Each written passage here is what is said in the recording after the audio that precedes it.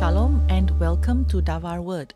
It is my pleasure to share with you what I have discovered in my walk so that we can learn and grow together. Are you a person of your word? Are you someone who can be counted on to keep your promises? Do others trust you to be dependable? Do you acknowledge your commitments? Sometimes we act without thinking carefully first and therefore make mistakes or behave foolishly. Sometimes we make promises which are too hasty and then we live to regret it. Ecclesiastes 5 verse 2 says, Do not be rash with your mouth, and let not your heart utter anything hastily before God. For God is in heaven, and you on earth. Therefore, let your words be few. Ecclesiastes 5 verses 4 to 5. When you vow a vow to God, do not delay paying it, for he has no pleasure in fools. Pay what you vow. It is better that you should not vow than that you should vow and not pay. In Judges 11, verses 30 to 31, Jephthah made a promise to God. But did Jephthah kill his daughter? Did Jephthah really make such a promise and end up killing his own daughter? Did Jephthah end his own daughter's life like how Abraham would have sacrificed Isaac if God had not intervened by providing a ram? Did Jephthah's daughter have any say in it? Did God accept human sacrifices? Isn't this like following the practices of the other surrounding nations of human sacrifice? Exodus 22:28 says, "You shall give me the firstborn. You shall give me the firstborn among your sons." Exodus 22:29 You shall do the same with your cattle and your flocks. 7 days it shall remain with its mother. On the 8th day you shall give it to me. Exodus 34:19 modifies the law by suggesting that firstborns are not to be given to God, but should instead be redeemed or replaced by livestock or money. Every first issue of the womb is mine from all your livestock that drop a male as firstling, whether cattle or sheep. Exodus 34:20 But the firstling of a donkey you shall redeem with a sheep. If you do not redeem it, you shall break its neck, and you must redeem every firstborn among your sons. None shall appear before me empty-handed. This is not the first time in the Torah that a child offering is replaced by something else. At the end of the story of the binding of Isaac, Abraham offered a ram in place of his son, Isaac. Leviticus 22 Anyone among the Israelites or among the strangers residing in Israel who gives any of his offspring to Molech shall be put to death. The people of the land shall pelt him with stones. Deuteronomy 18:10 Let no one be found among you who consigns his son or daughter to the fire. The worship of the horrific idol Molech is mentioned in Leviticus 18:21. Molech was worshipped by heating a metal statue representing the god until it was red hot. Then, by placing a living infant or child on the outstretched hands of the statue while beating drums drowned out the screams of the child until it burned to death the offering of infants to Molech was actual human sacrifice. There is the story of King Mesha, who sacrificed his firstborn son to repel an Israelite invasion so that he could win the battle. This was dramatic. 2 Kings 3:26 The king of Moab, seeing that the battle was going against him, he took his firstborn son, who was to succeed him as king, and offered him up on the wall as a burnt offering. A great wrath came over Israel, so they withdrew from him and went back to their own land. The sacrifice appears to have worked, but how exactly? Whose wrath is being described? Was it the great wrath of the Moabite high god Chemosh who helped his people defeat the Israelite attack? Alternatively, was it the Lord's anger? It is difficult to accept the possibility of the king of Moab sacrificing his own son. The sight of his son being offered as a sacrifice crushed everyone, and anger was turned against Israel. The scriptures admonish against a specific ritual, burning a child for Molech. This was being practiced among Israelites. The existence of child sacrifice among the Israelites is stated explicitly in Kings. Listen to King Josiah's reforms. 2 Kings 23:10 He also defiled the Tophet, which is in the valley of Ben Hinnom, so that no one might consign his son or daughter to the fire of Molech. Jeremiah 7:30 For the people of Judah have done what displeases me, declares the Lord. And they have built the shrines of Tophet in the valley of Ben Hinnom to burn their sons and daughters in fire, which I never commanded, which never came to my mind.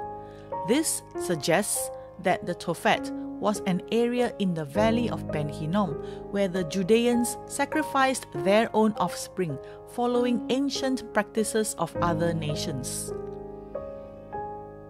The Torah does not offer a clear reason why a father should sacrifice his son.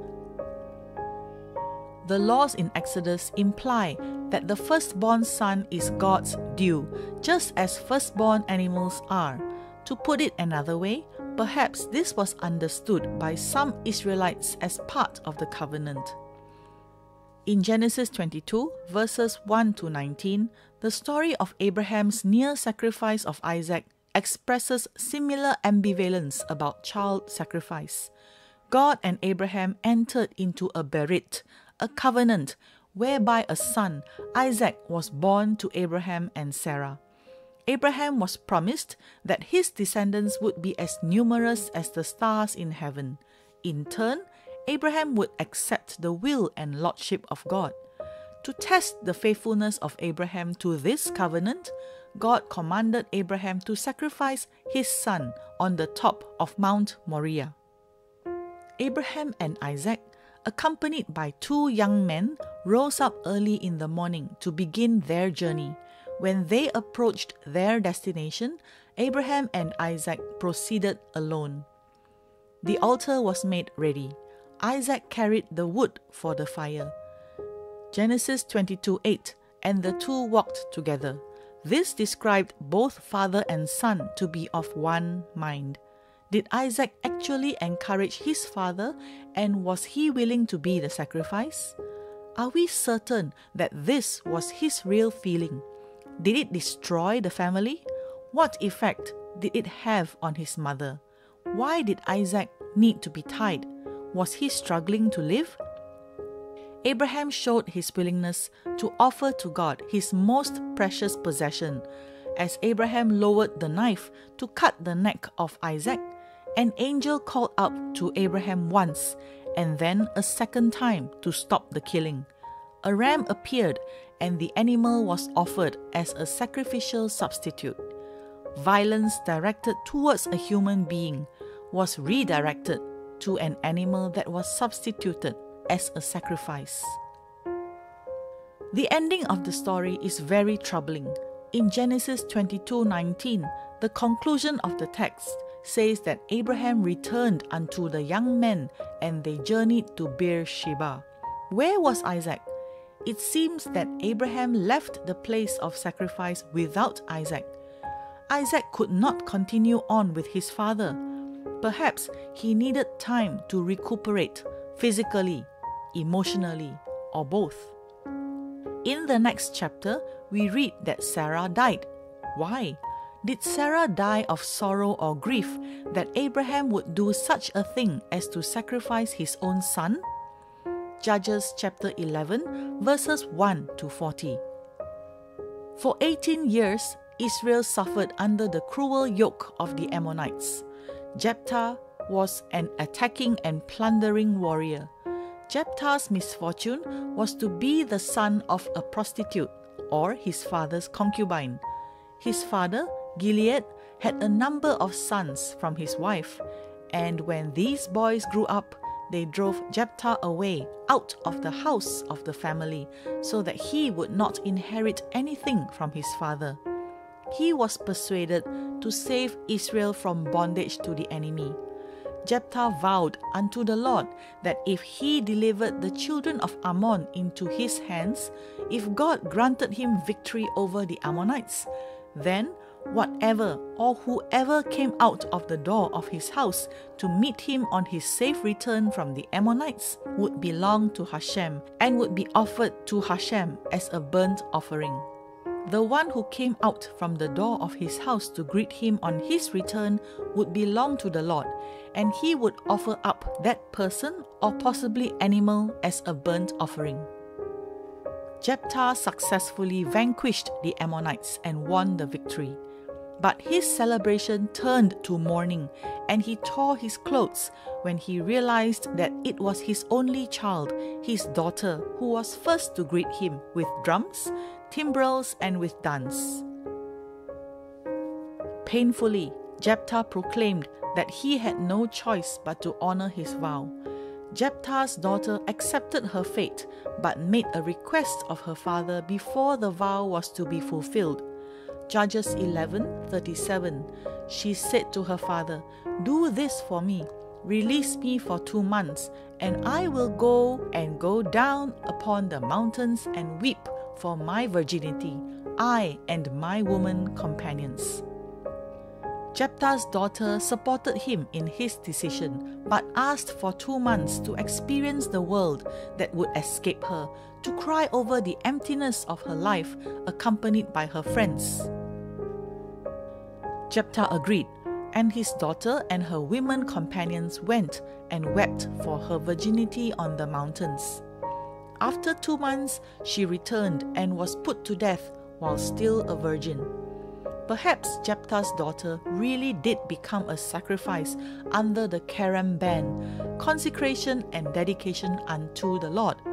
According to Leviticus 27 28, no devoted offering that a man may devote to the Lord of all that he has, both man and beast, or the field of his possession, shall be sold or redeemed. Every devoted offering is most holy to the Lord.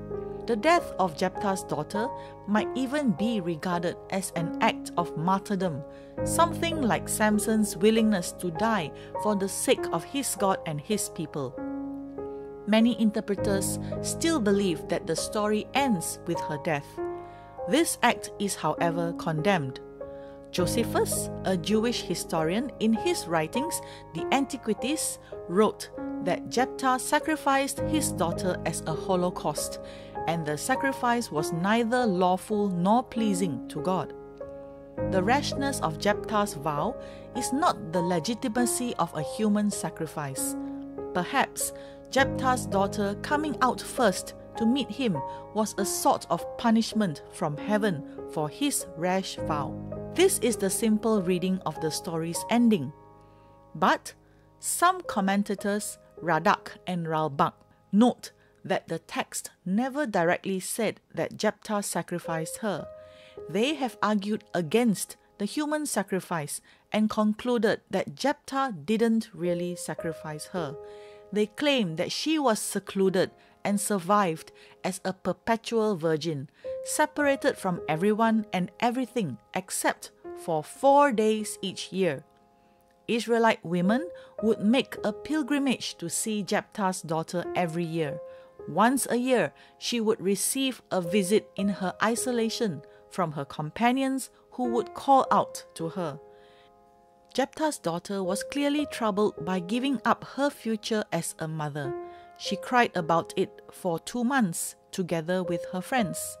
All the women of Israel do so for four days every year until Jephthah's daughter finally died. We are told that Jephthah's daughter did not know a man. If she was actually sacrificed, then this information is irrelevant. This perception is strengthened by the extreme emphasis on virginity. She wept for her virginity. She truly saw herself as dedicated to God according to the vow. As a consequence, she accepted a fate different to that of other women. She accepted a life of seclusion. She asked that she and her friends be allowed to cry for two months for her virginity, not her death. The request was granted, and she and her friends did in fact cry for her virginity. When the vow was fulfilled, we are told she never knew a man. This was a strange thing to say after recording the sacrifice of a virgin. Why is the emphasis on her remaining a virgin and not on her death? This suggests that she wasn't actually killed, but that she remained a virgin for the rest of her life. She sacrificed the most important priority affecting women in the biblical world the necessity of having children. She took a vow of abstinence. Jephthah's own vow forced his daughter into permanent celibacy as a woman consecrated to the Lord. This girl was Jephthah's only child. Apart from her, he had neither son nor daughter. To lose her would mean it was the end of any long term family or dynasty of Jephthah.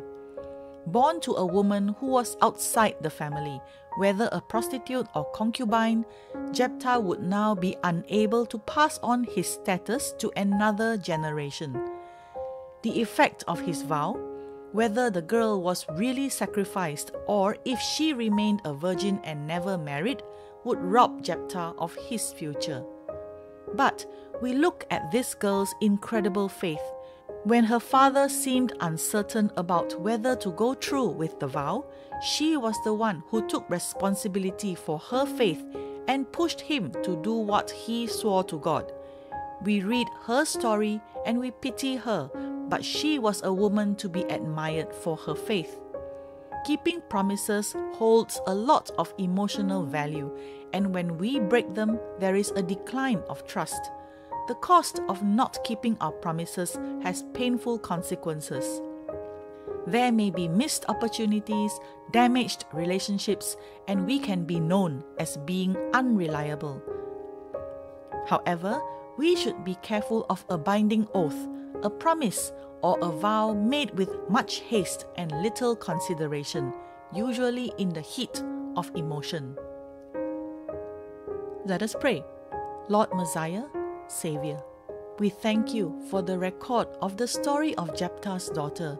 We have learned so much about making rash promises to others and also to God that we are obligated to keep. God does not forget words that we have spoken. He values our words greatly because His own word does not return void. Help us, Lord, to not make promises that are hasty Help us to take more consideration in our words. Help us to take responsibility for our faith and keep our promises made to God and other people. When we keep our promises, trust is built. Help us never to take this precious gift of trust for granted. In the mighty name of Yeshua, Beshem Yeshua, Bezekut Yeshua, Sar Shalom. Amen. Thank you for joining me. I pray that this message inspires and challenges you. God bless you and your family. Shalom.